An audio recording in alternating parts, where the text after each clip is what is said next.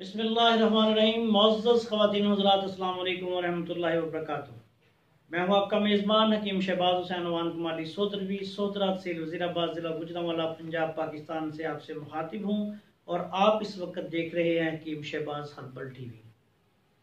معزز خواتین حضرات، آج کی اس نشست میں میں مردوں کے لیے بالخصوص شادی شدہ مردوں کے لیے ایک بہت ہی آسان اور بہت ہی لاجواب نسخہ لے کر حاضر ہوا ہوں۔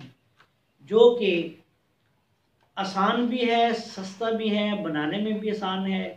بے شمار لوگوں مجھے، لوگوں نے مجھے فیس بک پہ ان باکس میں میسج کیے تھے۔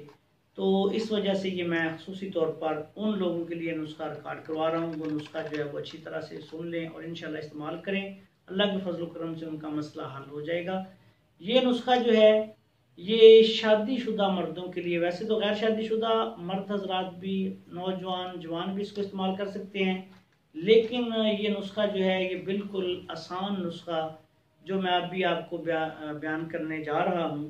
یہ ان شادی شدہ مردوں کے لیے ہیں جن کی منی میں جراثیم کی کمی ہوتی ہے اور وہ بیچارے بہت پریشان ہوتے ہیں، بے شمار مہنگی ادویات استعمال کر کر کے پریشان رہتے ہیں۔ ہزاروں روپے خرچ کرتے ہیں، لیکن ان کو جو ہے وہ آرام نہیں آ رہا ہوتا۔ تو ایک دفعہ اس نسخہ کو بھی پرہیز کے ساتھ ٹرائی کریں۔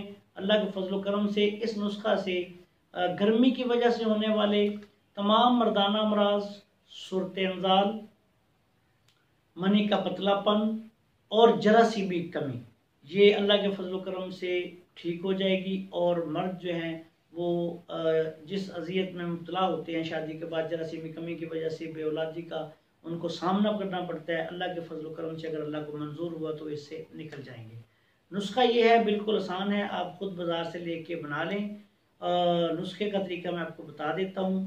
نسخہ یہ ہے، یہ دو چیزیں آپ میرے سامنے پلیٹ میں، پلیٹوں میں دیکھ رہے ہیں۔ ایک پلیٹ میں یہ سمندر سوپ پڑی ہوئی ہے یہ ایک بوٹی کے ننے ننے سے بیچ ہیں، سمندر سوک کے نام سے مارکیٹ میں دستیاب ہے۔ اس کو آپ نے ایک پاؤ لے لینا ہے۔ اچھا یہ ایک پاؤ لیں گے تو صاف کر کے یہ تقریباً آدھ پاؤ رہ جاتی ہے۔ اس میں خس و خشاک بھی ہوتے ہیں، مٹی بھی ہوتی ہے، اس کو آپ نے نکال لینا ہے، صاف کر لینا ہے کسی بھی طریقہ سے۔ اور جتنے سمندر سوکھ ہو، اتنا ہی آپ نے تالن کھانا لینا ہے۔ یہ دوسری پلیٹ میں جو آپ خاک خاکی رنگ کے، خاکستی رنگ کے، گہرے براؤن رنگ کے جو بیج دیکھ رہے ہیں، یہ تلم کھانا ہے۔ طب کی مشہور دعا ہے، تلم کھانا لینا ہے۔ یہ بھی اسی طرح کرنا پڑتا ہے۔ اس میں بھی خس و خشاک اور مٹی وغیرہ ہوتی ہے۔ چھوٹیاں چھوٹیاں کنکریاں ہوتی ہیں۔ یہ بھی آپ ایک پاؤ لیں گے تو وہ صاف کر کے آدھ پاؤ رہ جائے گا۔ ان دونوں کو آپ نے بالکل صاف کر کے صفوف بنا لینا ہے۔ دوسری بات تو آپ کو یہ بھی بتا دوں کہ یہ جو تلم خانہ ہوتا ہے نا، یہ تین چار قسم کا مارکیٹ میں دستیاب ہوتا ہے۔ آپ نے اعلیٰ کوالٹی کا لینا ہے، تھوڑا سا مہنگا ملے گا۔ جو گھٹیا کوالٹی کا ہوتا ہے، اس میں پتھر، کنکر اور ریت اور مٹی، اس طرح کی چیزیں ہوتی ہیں، وہ آپ نے نہیں لینا۔ اعلیٰ قسم کا لے کے اس کو صاف کر لیں۔ ایک پاؤ لیں گے، وہ بھی تقریباً صاف سوف کرنے کے بعد آدھ پاؤ رہ جائے گا۔ اسی طرح سمندر سوکھ کو بھی جتنی سمندر سوکھ ہو، اتنا ہی آپ نے تالم کھانا لینا ہے۔ دونوں چیزوں کو برابر وزن لے کے علیحدہ علیحدہ بریک پیس لینا ہے۔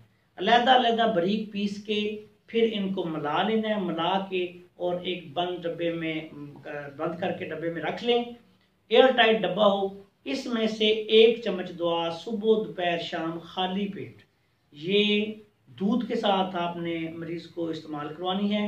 اگر کسی مریض کو پہلے ہی پس سیلز وغیرہ زیادہ آ رہے ہوں تو پھر اس کو دودھ کے ساتھ نہ دیں، اس کو پانی کے ساتھ جو ہے یہ دعا استعمال کی جا سکتی ہے۔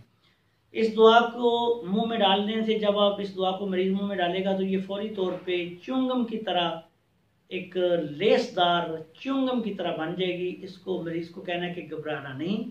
کھانے سے پہلے پانی کے ساتھ یا دودھ کے ساتھ۔ اگر پس سیلز مریض کو بہت زیادہ آ رہے ہیں تو پھر دودھ استعمال نہیں کروانا۔